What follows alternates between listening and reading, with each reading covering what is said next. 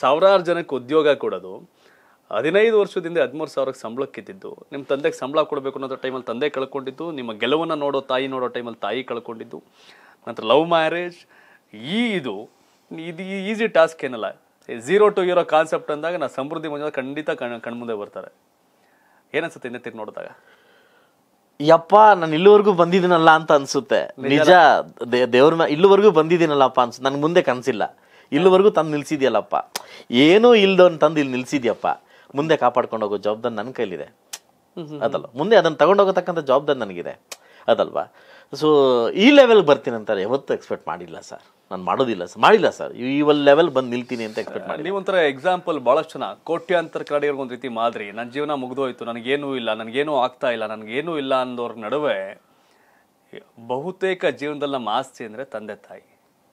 ಅವ್ರನ್ನ ಕಳ್ಕೊಂಡ್ಮೇಲೆ ಮುಂದಿನ ಜೀವನ ಕಟ್ಕೊಳ್ಳೋದು ದೊಡ್ಡ ಮಟ್ಟಕ್ಕೆ ಹೋಗೋದು ಒಂದು ದೊಡ್ಡ ಸವಾಲು.